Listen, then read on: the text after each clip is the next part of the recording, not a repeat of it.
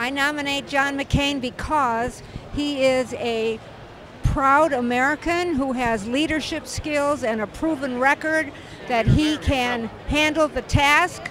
He has shown us that he cares by what he has given to his country in so many ways.